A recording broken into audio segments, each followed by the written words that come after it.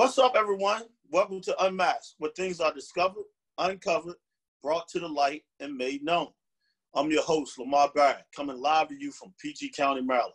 If you're interested in finding out about the untold stories behind being a college coach, this is the show for you. Being a former assistant men's college basketball coach for 16 years, there are so many untold stories behind the scenes in the life of a college basketball coach. Now, let's unmask them. Today's guest is a Hall of Fame player, a longtime assistant coach, a future head coach in the business. I would be remiss if I didn't mention a Navy veteran and a Charlottesville, Virginia native, Matthew Crenshaw.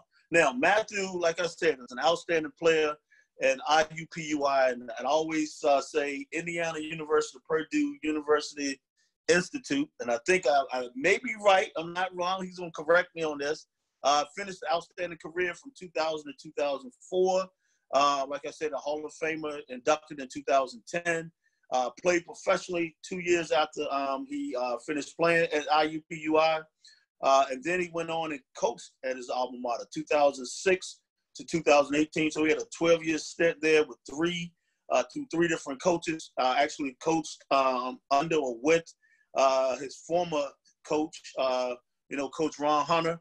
Um, also uh, with Todd uh, Howard, and then he finished up with Jason Gardner, and now he's Presley at Ball State, where he started in 2018, um, and just finished up year two, going into year three like I said, a young and the young. He's as as He's a young and bright assistant uh, who I think is going to be a future head coach. I just want to welcome to the show Matthew Crenshaw. Um, uh, Matt, uh, just want you to say a few words if you can. Well, first off, well, thank you for having me on the show. Uh, let me give you that quick uh, correction. IUPUI, Indiana University, Purdue University at Indianapolis. Gotcha. And you know what I remember was famous? 1999, I actually spent time there at Nike All American Basketball Camp. Yes. I actually worked there in 1999, summer of 99. I actually drove from Maryland out to Indianapolis. Actually, actually a great ride. Um, a lot of flat land going through flat land going through Ohio to Indianapolis, and uh, actually worked there for the summer of '99. One of my players uh, was at that camp, um, and actually it's a beautiful campus when I was there uh, on the campus. But I want to say, man, welcome to the show, Matt. Uh, glad that you're here. You know what? We're going to get right into it, man. Let's go ahead and get unmasked. Uh, first question I like to ask guests to come on to the show. Um, there's no handbook, man, in the college coaching. There's none. Um, you know, tell me about your first day, uh, first week, first month, uh, when you go back to your alma mater, uh, having a chance to coach. Because you're two years removed so it may be some freshmen and sophomores that was still there when you were a senior that still may have been around. Tell me about that, you know, tell me about that, especially when no one gives you direction. You play for Coach Hunter, now you're going to work for Coach Hunter. People don't understand. Those are two different things, man. Being a player for him and now you got to work for him. Talk about that. That that's it right there. Uh, people people really don't realize the, the difference. You know, a person treats you as a as a coach than as a player. Ron's a great guy, great coach. Uh, we had a good relationship, and uh, it just shifted. Obviously, uh, when I went for that player aspect, and um, Ron was really direct, you know, uh, up front with me. It, it was a little whirlwind. You know, I was still debating whether I was going to play, go back and play or not. I just uh, was injured, and uh, it happened to him previously where somebody said they wanted the coaching job, then they went back overseas for some more money. Me and him was going back and forth for a few weeks about the position. I remember I had braids. I still had braids, and um, we had, you know, we kind of had a visit on campus. I wasn't officially hired yet, and uh, you know, guys, some of the guys still thought I was a player. You know, on the visit, they didn't know. And uh, then about a week later, coach was like, all right, man, if you coming, you got to cut their hair. Let, let, you know, you, let's, let's get to it. And so uh, I ended up coming in. I, I was the Dobo. Didn't really have much direction. You know, he told me what to do, and I had to figure it out myself. Getting this travel done, the buses, the flights, uh, it all in aspects of understanding the budget. Hey, but we couldn't go stay in, the, you know, these five star. I brought back a couple contracts And uh, he was like, "Nah, we can't stay there. You know, it was a little too too expensive." But me not knowing, I didn't know. So uh, kind of went from there. And then it was uh, that that's probably late July, August, and then I want to say in September, right at the end of September, right, you know, that was the October 15th uh, practicing time. I was able to uh, move into assistant coach role, and uh, me and one of the assistants, uh, he he switched to a to my role just because he, you know his uh, his employment. He was doing something else, and uh, we needed to switch roles.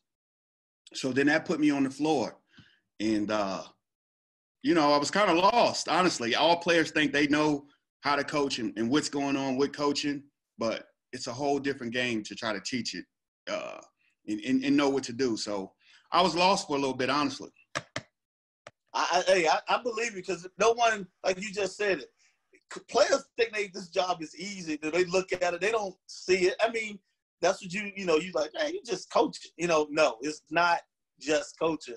And I, and I hope these young guys understand that as well uh, is they get a chance to watch this. No, it's not just coaching. Y'all see the finished product, but there's a whole lot to go into this business, and I hope guys understand that. Um, think about recruiting. So it's it's the lifeline of college athletics, man. Like we know that. Um, you got to get good players, good people if you want to win in this in this business. Um, talk about like your best and worst recruiting stories that you've had over the years. recruiting, you said it. I used to hear that from Ron. 90, 95% of your job. That's what you need to do, you know. And uh, I always hear that every now and then when, when I think about it. But honestly, I'd say my worst recruiting story would be uh, we're recruiting a, a, player that was really good, kind of went under the radar. I was feeling like, hey, finally I can I can bring my first recruit. You know, everybody's eager to get their first guy, sign their first guy and uh, he he was a good player, but just kind of under radar. We went out of we were out of scholarships, and uh, the state of Indiana has a program where you know you can go to in-state schools, public schools, uh, if you sign up for this program in middle school, basically free. And uh, he he was he was part of this program. He qualified for it. Was able to get him signed, committed. We do a visit. He says he's coming we don't, you know, obviously we didn't sign any paperwork. This was in the spring, and we were getting ready to go through them steps. About four or five days later, high major comes in, offers him a scholarship, and he commits on the spot. So I'd, I'd, say that would be my my worst. Uh, my my best, and well, to end that story though, because of the relationship me and that kid stayed in touch. We had a good rapport. He ended up uh, grad transferring about four or five years later and got him on the bounce back.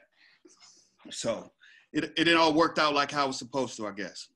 Uh, I'd say my my best probably uh, a situation where it was a kid from Indianapolis. I knew him, knew his family. I, I was really close with him. He went to junior college, junior college All American and and uh, Ron's a guy that's really really loyal to his players. We had we had a couple guys at the position, and he was like, "Man, we got these guys. We don't need him." And I'm like, "Coach, he's gonna be one of the most athletic players in our league. He can play. He's three minutes away from campus. It, it, it works both ways." And uh, coach was like, "No, no, no." So I eventually. I was because you know I, I, knew the kid. I was trying to help him and his family. I wanted him to go to college, get you know, finish from junior college, get his degree and uh, a couple people I was trying to help in the recruiting process, they couldn't believe it. And then uh, my coach somehow somebody saw him playing, and uh, he came and worked out with our guys. Our guys was like, "Coach, why why aren't we taking this kid?" The kid said, "Y'all don't want him." Long story short, coach comes comes at me and tells me, "Man, you got to be more aggressive. You got to tell me we just got to take this kid." You know, and uh, we ended up signing him. The kid was uh, newcomer of the year uh, at that time in the uh, Summit League, the most uh, player of the weeks in the history, uh, runner up for, for player of the year. Really, really good for us. A kid that went on to get some NBA workouts and play and still playing professionally to this day. Wow, two good stories, man. Two good stories, and at least the one that was the worst ended up helping you out in the long run. That's a good thing. Um, what do you what did you have to give up slash sacrifice uh, achieving your current level of success? Well, I I'd say the sacrifice for everyone is all about family time, uh, in, in, in time. You know that that everybody talks about a work life balance, but the reality is, if you want to be good and you want to grind, there's no such thing. You know, my my my, my lady, you know, uh, she always tells me, you, you don't have no work balance. You work. It's not, you know, work is your life, and you know, I, I try to make adjustments. I, I I do a little less now that I've been in it, but before I was always feeling like I had to try to prove myself. I was trying to do everything. And then I just realized it, you know, you work hard and you work for the people that you with. It's not about trying to be seen. Your work will show. I agree with you 100%, man. That's an excellent answer. Um, scout reports. And this is what people, you can always tell, Matt, like when it's your scout, you like you're invested in scouts, everyone. So you because everybody you want everyone to win.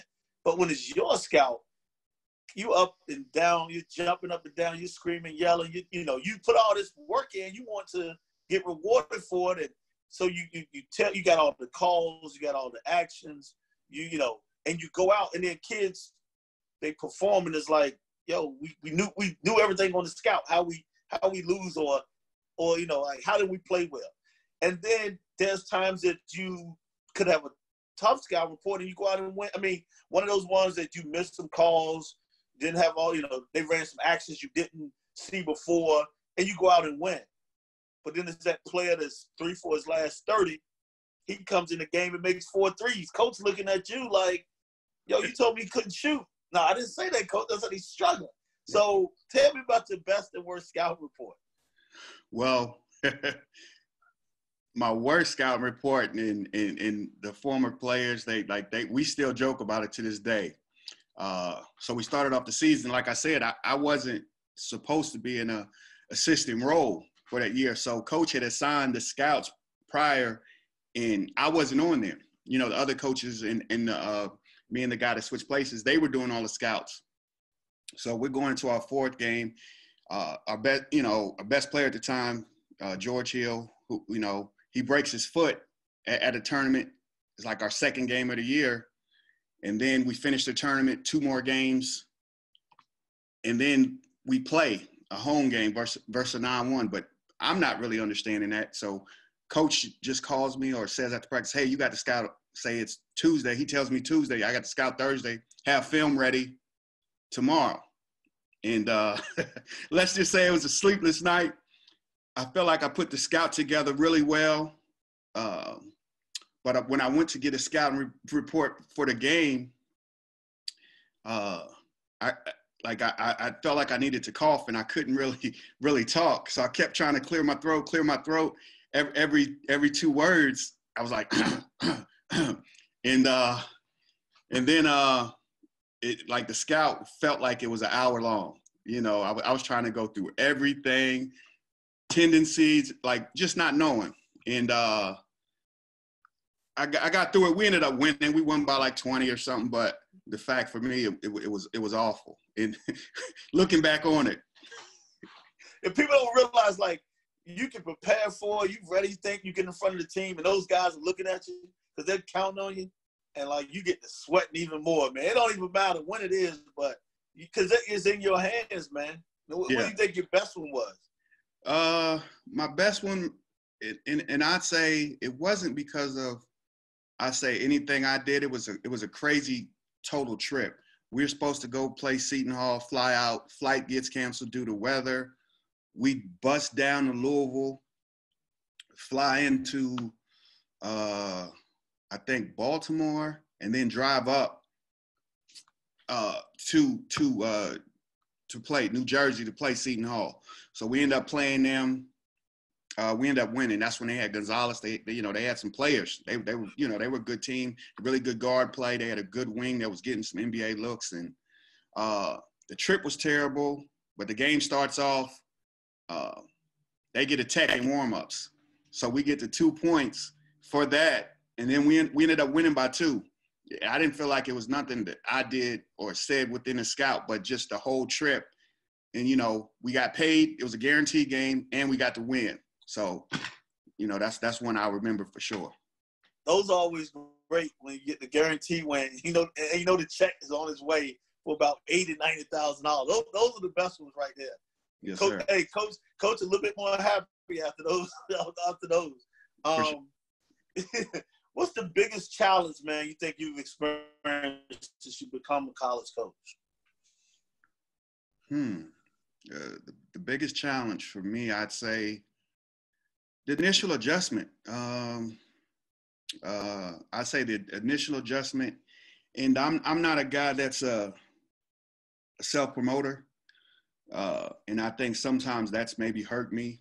Uh, you know, I'm not the guy that's going to tweet out, "Hey, I did this. I signed this guy.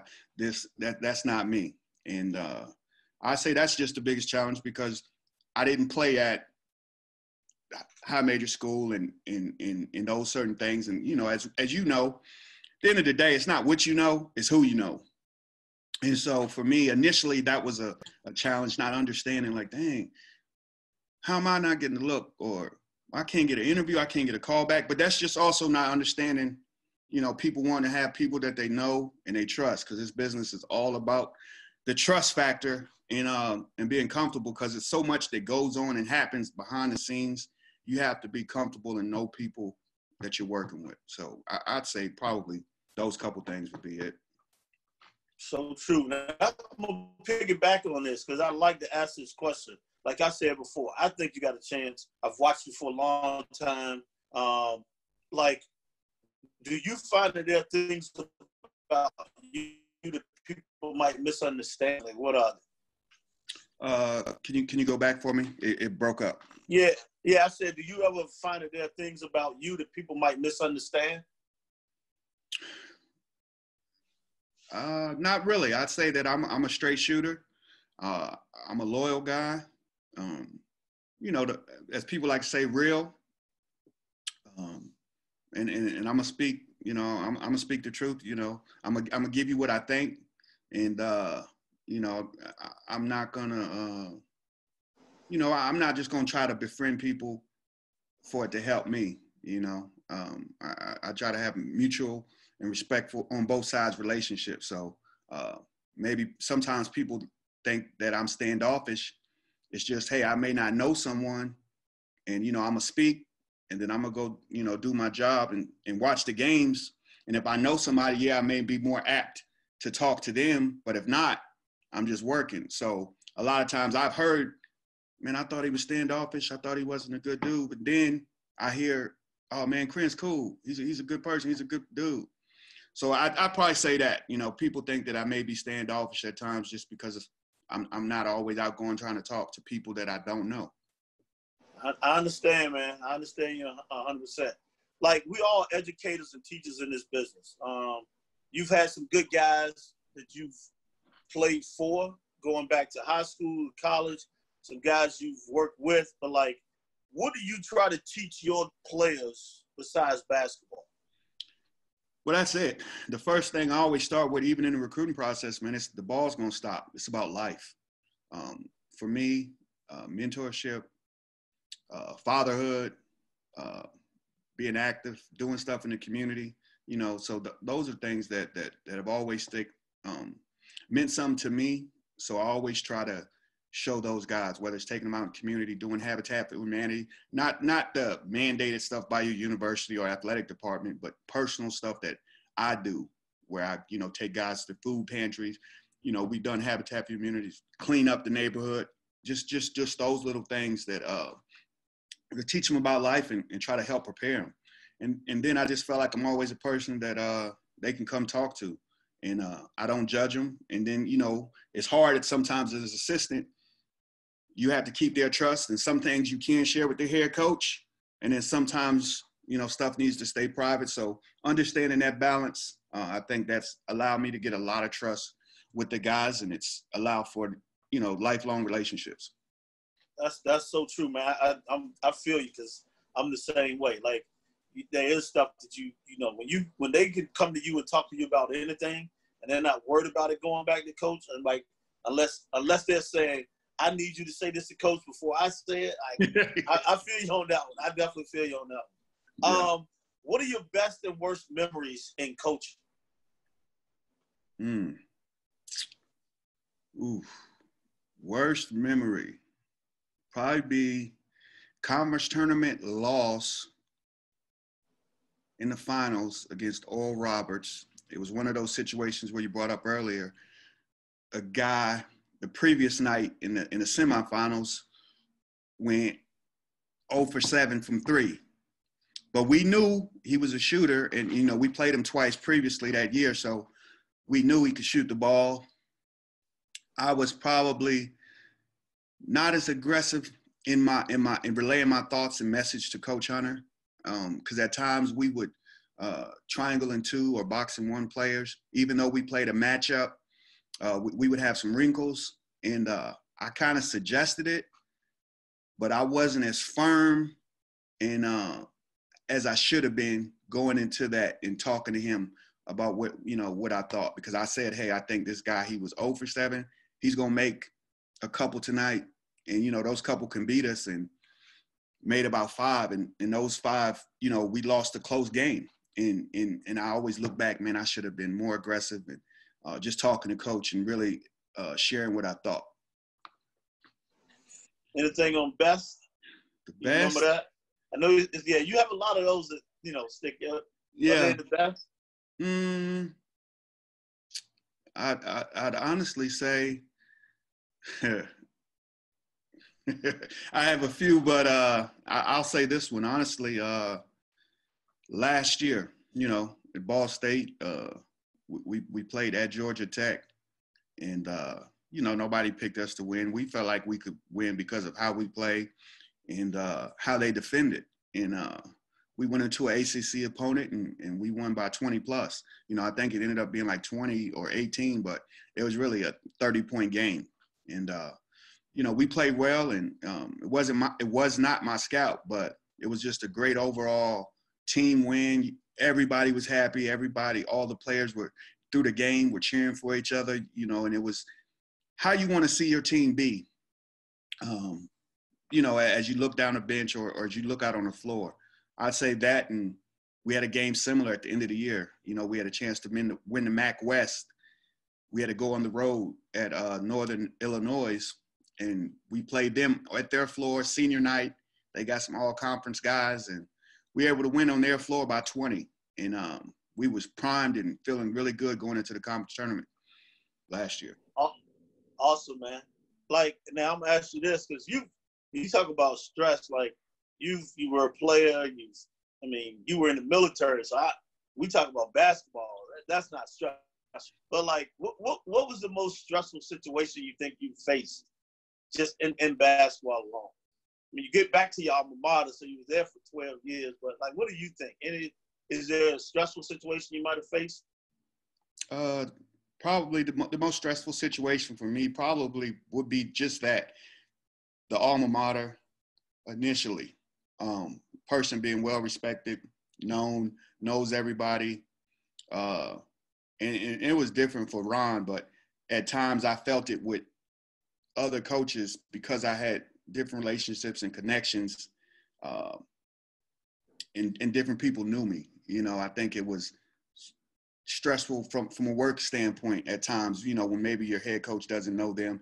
Ron knew everybody, so it wasn't no big deal. But you know, as a as a player, and I had you know a lot of success, and um, I, I, I was a person that always maintained relationships, and I was able to go have lunches, dinners with people, you know, in high positions on campus, and uh, doing it because that's what I've always done. And relationships are important to me, and being genuine. It wasn't anything that I was positioning, you know, for a job or anything like that. So I think that what I'd say probably was the, the, the stressful, most stressful part for me. But other than that, um, the losses, man, as a competitor, man, you hate to lose. And, uh, you know, I, I took it, I took it so personal at first. And um, I was like, man, I'm not going to be able to do this. And, you know, I think that was just some mentorship talking to coach and coach Hunter, coach Howard, guys that were my staff, coach Price, older guys that have been in the game and, and understood of hey man, all, you do your best to prepare, and that's all you can do. You you can't, you know, go home, stay up night. So those, those things, uh, the, the stress of losing, uh, and the work ethic piece. Like I was a player. I'm not gonna say, hey, I was that guy that was in the gym because we didn't have a practice facility, but I was a guy that that uh, I've had to get kicked out the gym before. You know, hey man, you're not supposed to be in here. So I, I was that guy, but I expected guys when you know as I got into coaching, like man, you're not gonna stay extra and work. Hey man, I'm here for you. And I and I and since I've gotten into coaching, I've always been the guy to say, hey, I'll come early one morning or I'll come at night so we can get some extra work. Just let me know. Let's plan it out. And I offer that to everybody. And then when like only one or two guys are taking up on that, I was kind of confused. And I'm like, man, and, and one player, and I think it was like my second or third, it was my going into my third season. It was one of my teammates. He ended up redshirting my year, but he was still around the program. And he was like, hey, man, like, you're going to be a good coach. You're good. But just remember, everybody is not as passionate as you. And I said, what are you talking about? He said, hey, look, man, like, I'm here to be on a team. You know, I'm getting my college paid for. And I, but I'm going to work in the business world. I'm not trying to be a pro. And so once I started thinking it from that aspect, it, it really helped me in my career. Awesome. I mean, sometimes you listen to a player, it, it, helps you a lot of times. A lot of people don't understand that one as well. Um, what is the strangest thing a player has done outside of the basketball court? Strangest thing. Oof. Hmm. As you know, we, you, you you got some wild guys. Even though you know they're great kids, but they still like you'd be like, wow, I can't believe this person did that. well, well, what I'll say is this. So when when I was uh, in the Dobo position before I was the assistant coach, I was uh, I was working. Uh, you know, my my uh, degree was in criminal justice, so I was a probation officer part time, and uh, during during that time, I was working at the uh, intake facility, basically when you get arrested, the, the, processing center.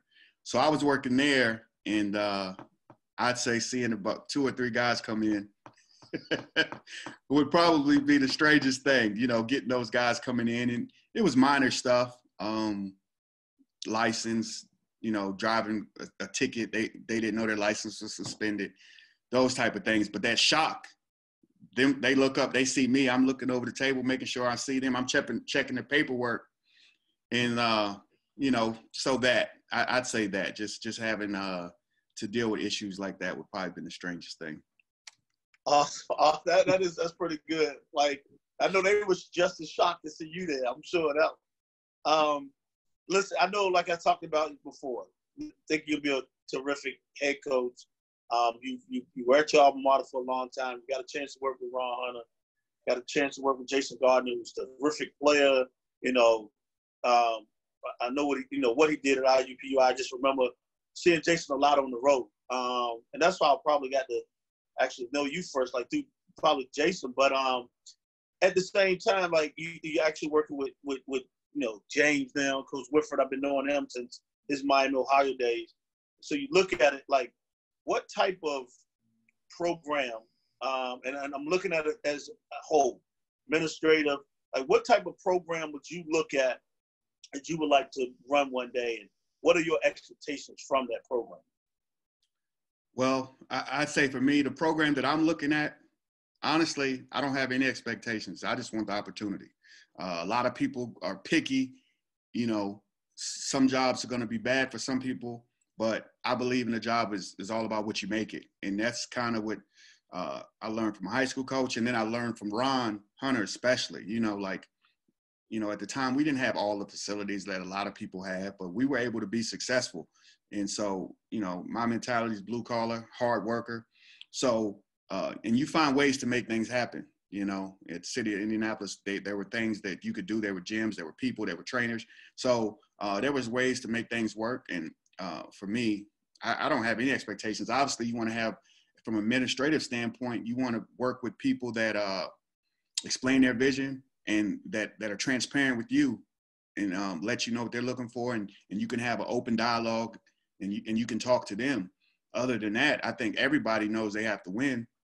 At, at, at some point, you know, you just want to be given an opportunity to win. In some situations, going to take uh, more time than others. So, I, I, I love that answer. Love yeah. that answer. Um, and, and like you said, administrators have to be got to be open dialogue, got to be supportive from the top to the bottom. That's what you know. A lot of times you go to a situation where administration don't even really care about athletics. You, know, you, you can't be that way. Like, no, you need them to care about athletics. You need support from the athletic department and so on. So I, I, I, I love your answer on that, man. Um, what's the biggest accomplishment you think you've experienced since you've been in college coaching? Um, the biggest accomplishment, me being in college coaching, I'd have to say numerous um, men getting their degrees. To me, that that that's the most uh, important thing, man. It's it's I've I've had guys, you know, obviously, you know, playing the NBA, get NBA workouts, playing the summer league, but at the end of the day, when you look back on it, we don't even really talk about playing uh, or playing in NBA. We'll talk about college experiences, and we talk about life and, and and them having their degree and getting guys to go back and finish, um, because that that that's that's been my mission, and I feel like as a university, somewhat you're using the student athletes to promote your university and bring recognition and, and those things with the success of the athletic program. So you have to, you know, I always tell them you have to use the university to make sure you get your degree. And I've had multiple, um, I think it might be close to eight guys either get their master's or get a uh, certificate in, uh, you know, a master's certificate. So that was just something that that I, I pushed. And once you know, university started paying for summer school, um, you know, if, if you take things seriously, you should at least finish in three years and work on your master's. Awesome, man. That's that's awesome. Like this will be turn a little bit, so might have you thinking a little bit. What movie or TV show title best describes your work or your week? I'm gonna say your week, not even your work week. Your week. Hmm. Man.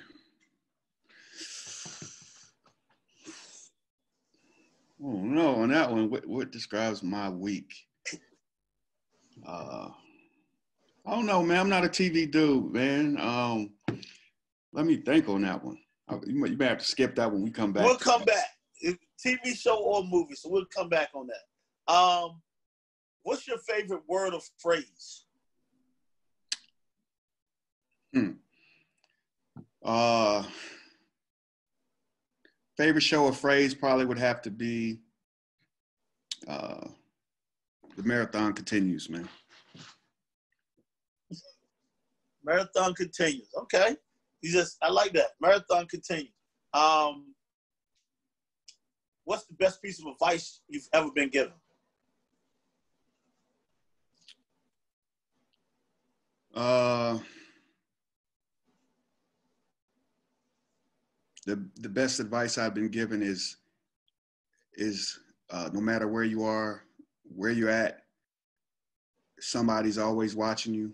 Um, you're always a, um, a, a role model or somebody, you know, to someone that could be looking up to you. Um, and it's always going to be someone's first time maybe meeting you or seeing you. So um, carry yourself in, in, in that way. I love it. I love it. What does uh, success mean to you? Success to me means uh, first and foremost players graduating, uh, ready to be productive members of society in their communities, whether it's where they went to school at or back home, uh, making an impact in some way, um, spreading light and knowledge to, to the ones that come after them. And then obviously you, you want to win. You you know you want to have some wins because winning brings enjoyment. You know when you're happy, it, it makes things a lot things more fun. So uh, you want to win, but success to me is just about uh, the impact that you can have on the lives and um, you know their lives, not just for those four years, but you know for the next forty years. Awesome, man. Now, where is your happy place? We know there's some tough days in this business, man. Like, like where's your happy place? Honestly, uh, for me, my happy place is probably been like COVID. you know, COVID, you know, for me, like COVID bothered a lot of people. For me, I, have been fine.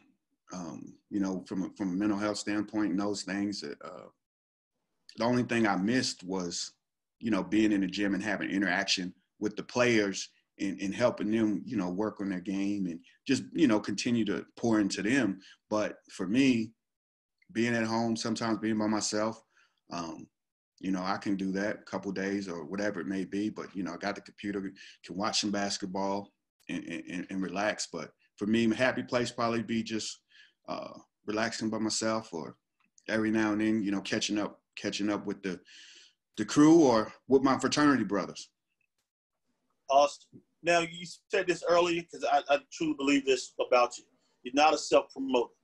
Um, but if you had to choose three adjectives to describe yourself, which would you choose? Uh, loyal, dependable, hard worker. Awesome. Um, now, what qualities do you uh, value in the people with whom you spend time? Trust, transparency, respect. That's that's just kind of some things I live my live my life and base that around. Like obviously, I understand trust and it takes time. But if you're transparent and honest with people, that relationship can grow and cultivate. Um, so I just want to be around good people, um, and you know, we we we can impact and and um, share share with one another. Awesome, man. And like, what person and or event has had the most influence on your life? That's, that's tough um, one person that, that has a big impact. I can't say the most, but I can say one person that had the, the, the, the a big impact for me and is the reason why I got into coaching would be my high school coach. Um, you know, Billy Gillispie is for the fact that um, at times he would, you know, just taking time to be there for you to have your conversations, maybe pick you up, take you home, um, those things, and, and, and keep it real with you and at the same time work work you to death you know you know that you know sh- showing you hard work and um, he was a big guy to hold guys accountable. It didn't matter if you were the number one guy or you were the 15 guy on the team everybody was going to be held to that same standard. Man that's good. Billy gillispie and I, I mean you know that, that's that was that's that's having a great high school coach right there. Um i like to end with this question all the time just I mean, you, you travel that path. Like knowing what you know now, what would you tell your young self or younger self to prepare for as an assistant coach? Um, knowing what I know now, I tell my younger self to um, to be willing to go go outside of your comfort zone. Um, really identify uh, people that that you know I may have identified I felt like were good coaches, and, and guys I may have admired or like what they did, maybe reaching out to them, trying to talk to them, um, call them, even if they don't respond, maybe try again. You know, because right now I think if I tried to reach out to guys, they don't respond, and um, I'll move on. But not understanding now, I fully understand that uh, that how it is in in the business and, and how it goes, and I can say one guy and it wasn't so much about me playing or this is when I was in the military and I was, you know, looking at going to college. I'll never forget Cliff Warren. He returned the call and, and, and, and we talked. And, you know, at the time, and players don't realize what level, where they should be playing at, and those things. So just uh, taking time out to, to follow up with people, call, call people that I admire, but also taking time to return emails and, and phone calls. Just make sure you do that. Awesome. Cliff Warren, that's my guy, man. We go way back. So we were uh we were um roommates at Georgetown basketball camp. So we so I go way back in Cliff yeah. Um so um hey Matt, man, I want to thank you again, man, for being a guest on the show and being unmasked. Is there anything you want to say to uh, the viewers before we go? uh, just say thank you for this opportunity, man, and uh, really appreciate it. Um, always admire you from, from American to ODU days, and just seeing you always carried yourself uh, well out on you know on the road, and you're a personable person, um, and you and you would talk to guys. So you know, definitely um, unique. A lot of guys aren't that way. Um, you never carried yourself, you know, like you bigger than anybody. So that's one thing I always wanted to admire. I want to say that on the show. I believe on you know giving people their roses, man, while, while you can. So man, um, wish nothing but best for you and yours. And uh, for those that you know, um, young people, young young men, young women willing to get into the game, that want to get into the game, uh, please look me up. I, will take my time out to call you, uh, talk to you, give you some advice that that that I feel that helped me, or you know, I'll listen to you, and and, and I'm willing to, to share anything that I've learned with anyone. Well, I appreciate, man, those great words, man. That, that means a lot. Um, and like I said, I know you'll do big things in this business. You'll continue to work. You've worked with some good people, and you still work with a great guy. Um, so, uh, with saying that, I want to thank the viewers for watching another great show. Stay tuned for the next guest as we get them unmasked. See you next time, and stay safe.